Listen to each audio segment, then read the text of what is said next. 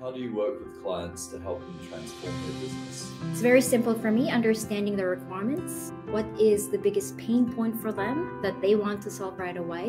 What are their objectives? What are their KPIs? For me, as a consultant, it is your responsibility to ensure that the customers are clear in terms of what they want to achieve and really distilling that what I see is that Salesforce.com it could really solve a lot of business problems, and along the way, it gets muddled in terms of all of the other business problems that are less of a priority, but nice to have. It's so easy to say, can we just add this? Can we just add that? Can we just add this as well?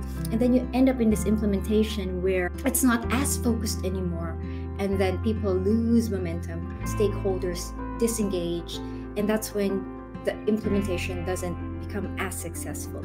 If in the beginning that's been established, it's also the consultant's responsibility to ensure that there is internal unity aside from the executives, but also that executive buy in and the board buy in and the stakeholders buy in, that everyone is really committed to ensuring that this is what they want to achieve, then you can work hand in hand to ensure you stay true to the course and you don't veer away from that path that you have agreed to focus on in the beginning. I always say that the good is the enemy of the great.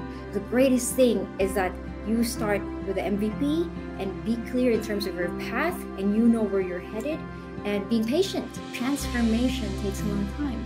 If you're clear in terms of your path, it's like beginning with an end in mind. You know the path that you're headed. You know that you need to be patient. You need to have consistency in terms of your effort. That's really a big part of what consultants are meant to do guiding them holding their hand but also leading them and making sure that you manage them because that's what they expect you to do. And letting them know that these are the things that work and making sure that they understand that you're doing it for their benefit at the same time.